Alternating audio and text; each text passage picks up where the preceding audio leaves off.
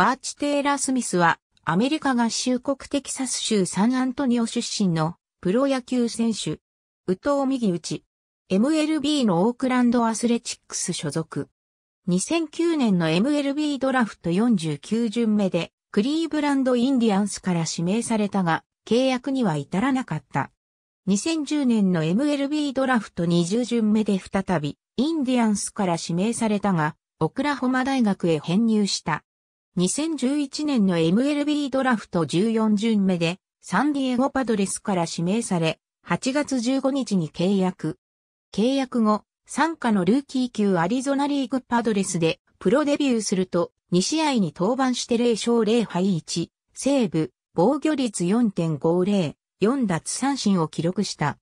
2012年は A 級レクエルシのアストームでプレーし、26試合に先発登板して9勝6敗、防御率3.85、137奪三振を記録した。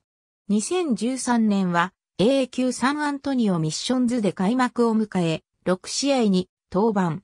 1勝2敗、防御率1.15と高騰し、5月11日にパドレスとメジャー契約を結んでアクティブロースター入りした。同日のタンパベイレーズ戦で先発起用されメジャーデビュー。1回裏は三者凡退に抑えたものの、2回裏には本塁打を含む5安打6失点に死球と打ち込まれ、1死も取れず降板した。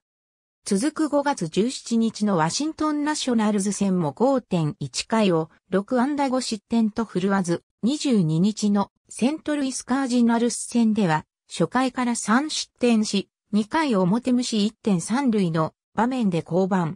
メジャー初黒星を喫し、24日にトリプル A 級ツーソンパドレスへ降格した。トリプル A 級ツーソンで2試合に登板して2勝0。はい、防御率2.70と高騰したため、6月8日にメジャーへ再昇格した。しかし、登板機会はなく、6月11日にトリプル A 級ツーソンへ降格した。6月28日に再昇格し、ロングリリーフとして3試合に登板したが、7月5日にエバースカブレラが故障者リストから復帰したため、トリプル A 級ツーソンへ降格。9月2日に昇格した後は、先発に復帰し、15日のアトランタブレーブス戦では、7回を3安打無失点10奪三振に抑え、メジャー初勝利を挙げた。この年メジャーでは10試合に登板して1勝3敗、防御率6.44、46奪三振を記録した。2014年3月3日にパドレスと1年契約に合意。3月16日にトリプル A 級エルパソチワワズへ移動した。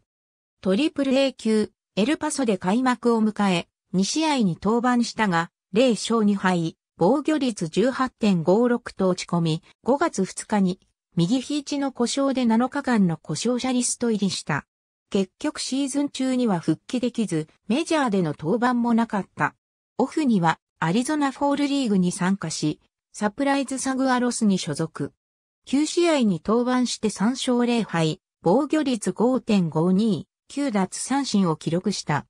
2014年12月19日にナショナルズ、レーズ間の三角トレードで、レネ・リベラ、ジェイク・バウアーズと共に、レーズへ移籍した。2015年は4月に、トミー・ジョン手術を受けたため、メジャー及びマイナーで投げることなくシーズンを終えた。11月20日に、マイナー契約で参加のトリプル A 級ダーラムブルズへ配属された。2016年もプレーしなかった。2017年は、ルーキー級、ガルフコーストリーグレーズ、AA 級、シャーロットストーンクラブズ、トリプル A 級ダーラムでプレーし、3球団合計で6試合に登板して5勝3敗、防御率2.40、56奪三振を記録した。オフには3年ぶりにアリゾナフォールリーグに参加し、サプライズサグアロスに所属。6試合に先発登板して1勝2敗、防御率3.98、29奪三振を記録した。2017年12月14日に行われたルール5ドラフトでニューヨークメッツから指名され、同日に金銭トレードによってカンザスシティロイヤルズへ移籍した。2018年は38試合に登板して1勝6敗、防御率6.92、77奪三振を記録した。11月26日に DFA となり、30日に FA となった。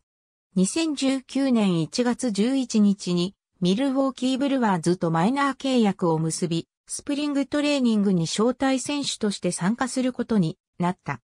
開幕は、参加のトリプル A 級サンアントニオミッションズで迎え、5月5日にメジャー契約を結んでアクティブロースター入りした。8月9日に DFA となった。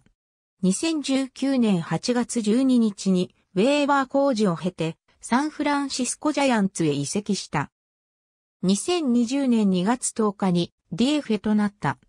2020年2月15日に金銭トレードでオークランドアスレチックスへ移籍した。ありがとうございます。